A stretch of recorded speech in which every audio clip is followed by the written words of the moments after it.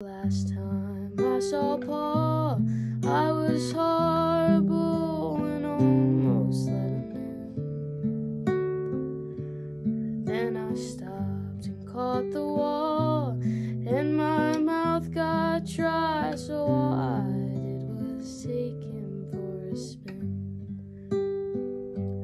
Then we hopped inside my car